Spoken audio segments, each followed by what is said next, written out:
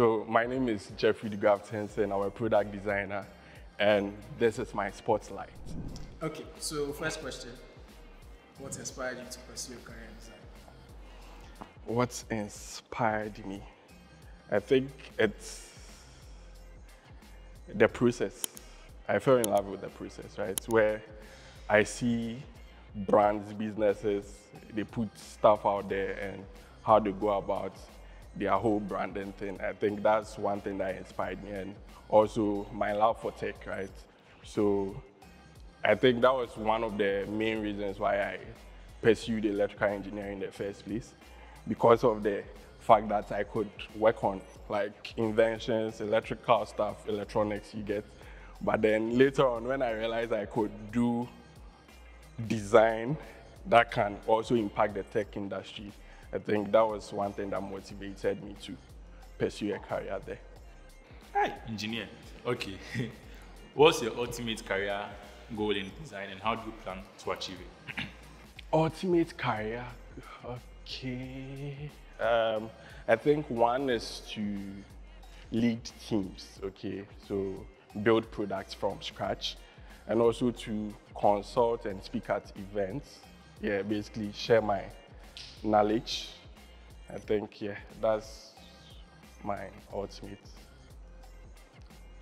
So, um, what are some hobbies you have outside design? Hobbies. Uh, me, I be gamer, so yes. I dey play games like um, PlayStation, so FIFA, anything game, I did there, and also music. Um, I'm a, what is it, retired rapper. I'm a singing leg guy, leg music as a oh melelam, oh melama wala na that is leg music. How do you balance your personal life and career in design? You dear, we know say. And the balance they, they need. So I always set boundaries, like we always say. So if I know for a fact that this is the time period I'll be working in, this time I'll use it for my personal stuff. And now I've done it in such a way that my weekends is like exclusive, just for me. So whatever I choose to do with it, it's based on my decision, not someone's decision. So yeah, I mean, right now I think I've gotten like a hack for it, where I know how to like balance stuff. Beautiful. So, what's the most interesting project you've worked on? Interesting project. I think I'm still on it. It's this um, for medical students.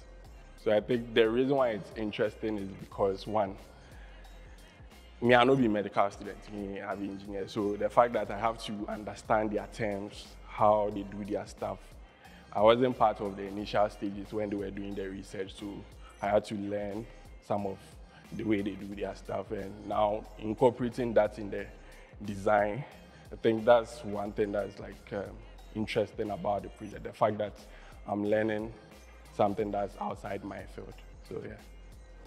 So, what's the most challenging project you've worked on so far, and how did you overcome it? challenging. challenging, challenging. so it not be projects per se.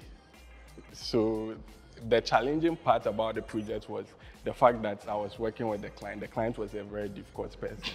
So it not be the actual project, it's just the communication part.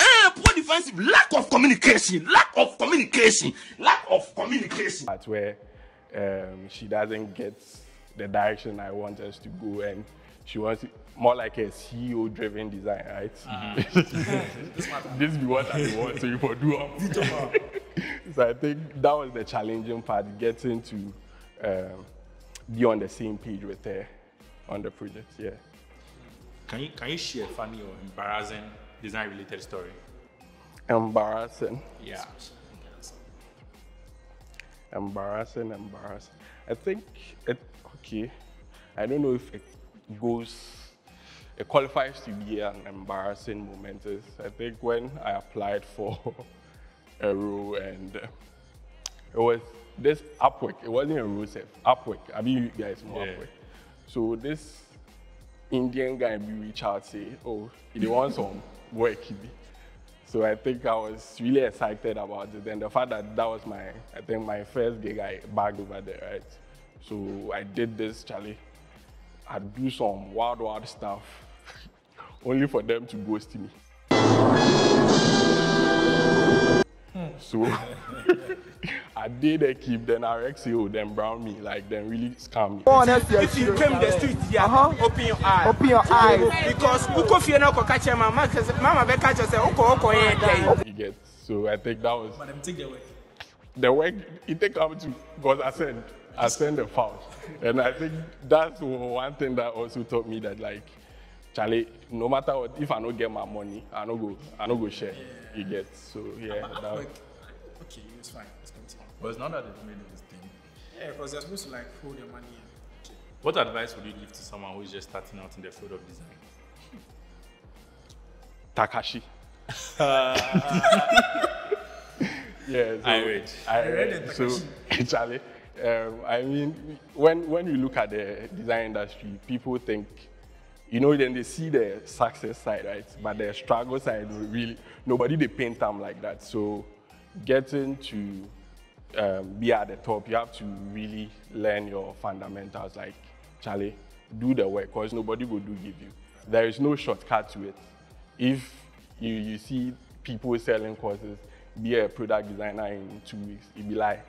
This was somebody business, but Be a millionaire in two days. yes, I made one million dollars in one video. you already know see the scam. So yeah, I mean, you have to work hard. That's that's Yeah. it. Okay, so if you had the chance to have dinner with any designer, living or dead, who will it be? Chris Do. Please do. I think I, I like the business part of the design, right? Normally we don't focus on that. And the fact that he's doing that, I think I'd really, because the guy in thinking be some way.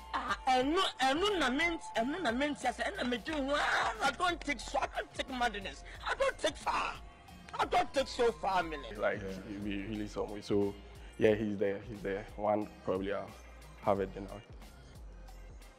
So, um, what's one design trend that you love, right? And what's another design trend that you hate?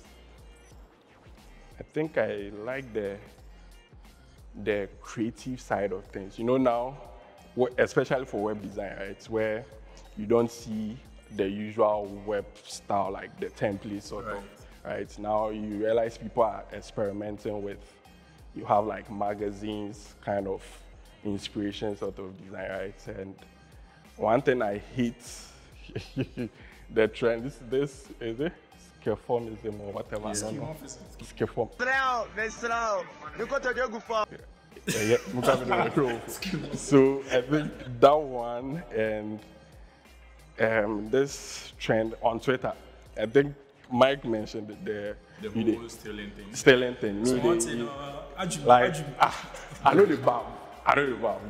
Because everyone has like an issue with your design nowadays when you do something. When they see something that looks similar to a particular web web design, they're like, nah, you copy them. But there's nothing new.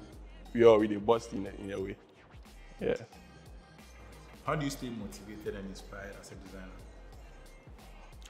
L'argent.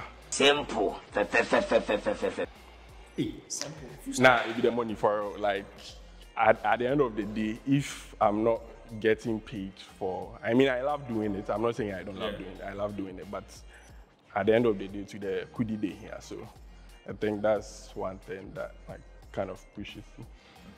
So, if you weren't um, a designer, what other career path would you choose? If I'm not a designer. Obviously by this time I they hold mic, they rap. Hey, so don't engineer cast. School is not the air. Nah, that one will be before. Right now, right now, yeah. Like I go, I go. I think I'll do the music. I'll pursue the music. For the engineering, yeah. Uh, well, it's it's not good here, like Ghana. You really know the work for here. I mean, you can you can you can think of other companies that are paying well, but for the field I was in, it be some way. Then you, you don't really have time to yourself to as well because you are working, I think, 12 hours every day, including weekends. So, Charlie, me, this this no be my life.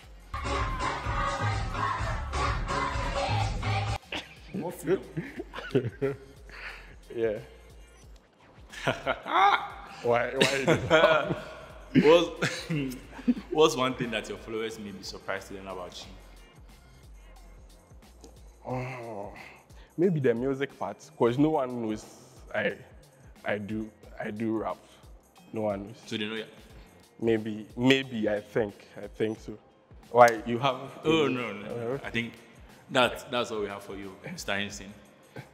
Thank you. Why you being formal like that? Hey, Hey, chime in. you see, I just So I everything, but finished. you just say, Uh, join. Ah, c'est fini.